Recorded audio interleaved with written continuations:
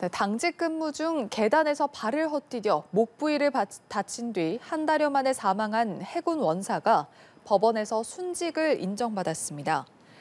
서울행정법원은 해군 원사 A씨의 유족이 국방부를 상대로 순직 유족급여 지급 거부 처분을 취소하라며 낸 소송에서 원고 승소로 판결했습니다.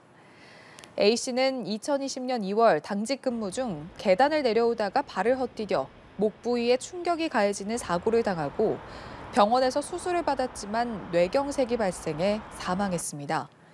재판부는 매달 상당 시간 초과 근무를 해 피로 상태에 있었을 것으로 보인다며 공모와 사망 사이에 상당한 인과관계가 인정된다고 판단했습니다.